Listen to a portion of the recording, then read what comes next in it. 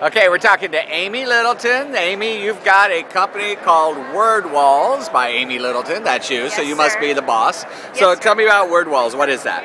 Um, I'm a consultant. Uh huh. And May 18th of last year, I woke up and I said, that's it. Teachers need word walls, principals want them. So I took the past seven months of my life and I made word walls for STAAR vocabulary, grades 3 to 8, and also made pre-K word walls. So they're like pre-made Word Walls, so a teacher doesn't have to create their own. You've Yes, done it. You've done the work for them. Thank you. All right. And they're sold on a thumb drive and PDF files, so they can be used on Macs and iPads, any kind of computer you have. Show me how it works. What do you got? Tell me. Tell me about this. So fourth this is an example. These are just examples. Fourth Okay. grade math probably has about 50 slides, so these are just two. Okay. Eighth grade probably has 50 slides. So Yeah. you've done all the work. I have, yes, sir. Okay. So how does the teacher use it? What, what's the teacher do?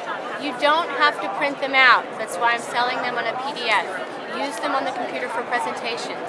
Have the kids use them in their Dropbox, in their cloud. They need to be able to grab the vocabulary themselves. Okay. I have had teachers print them out and put them in a book. Okay. Some teachers don't have classrooms. The RTI teacher can print these out. This eighth grade Okay. science. Cool. It, it, it could even go on an iPad if kids got an iPad, right? Right here. Here's third grade. Third grade ELA and Spanish. Okay. Right here. Okay. So it's uh, it's almost like a power, uh, like a.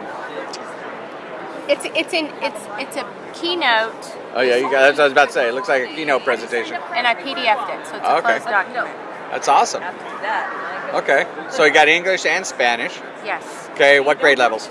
All of the STAAR tested subjects, so three through high school, and then I have a pre-K workbook. That's awesome. Seven months that took you to do. Yes, and I'm not finished. Okay, so how, uh, now I know the answer, but I'm going to test you here. How'd you pick out the words? How'd you pick out the tested words? Um, I pulled the assessed TEKS on TEA's website. right?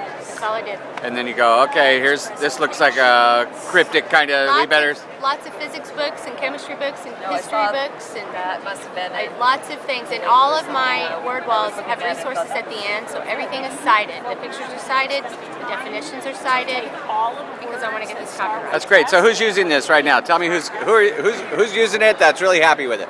Karnes City, Nixon Smiley, Dallas ISD, Longview ISD. So you're just uh, your job in life is to save some teachers some time. Yes, sir. All right, Amy Littleton with Word Walls. And there's your website, Word Walls by AmyLittleton.com. And you're Amy Littleton. Yes, sir. With Word Walls by Amy Littleton, you're still Amy Littleton. I'm still Amy Littleton. Amy, thanks for talking to us this morning. Lay 'em up.